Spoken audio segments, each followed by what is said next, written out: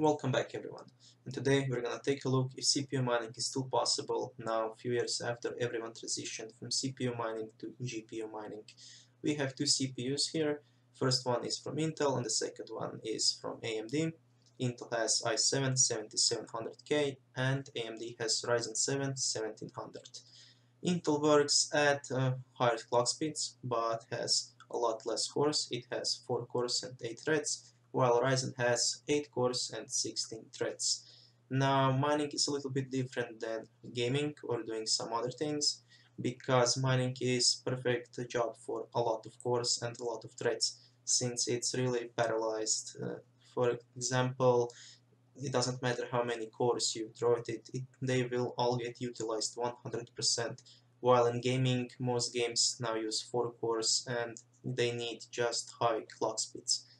And now let's take a closer look at Intel i7. i7 gets only $10 in profits per month, which sucks because it currently costs $330 and you will need a long time to pay it back, about 3 years. While Ryzen 7 gets $27 per month and it has even a little bit lower price than i7 with $300. As you can see here, this is not Ryzen 7 1700, this is Ryzen 7 1700X overclocked at 4 GHz. But the whole Ryzen 7 lineup is basically the same.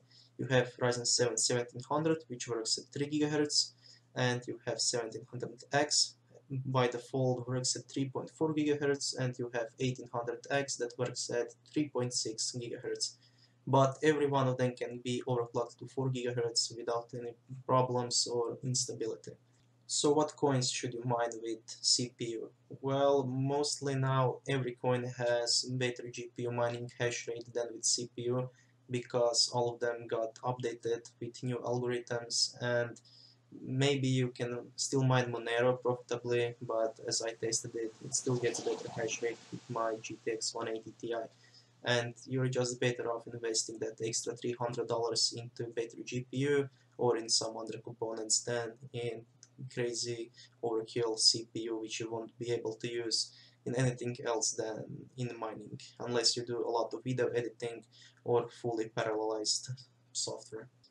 So my recommendation is if you wanna really go for Intel, you don't really need i7 7700K, you can just go for the G4560 which will do pretty good job in most of the games, especially if you don't need more than 60 or about 80 FPS. And if you really want to go for AMD, you don't need anything better than Ryzen 5 and you will still have about extra 100 to 150 dollars left and you can just spend that money on better GPU and maybe upgrade your GTX 160 to 170 or 170 to 180 because you'll have a lot better overall hash rates than spending all that money on the CPU.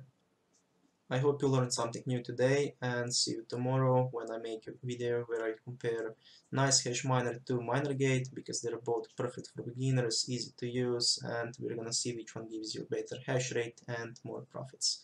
So yeah, bye and see you soon.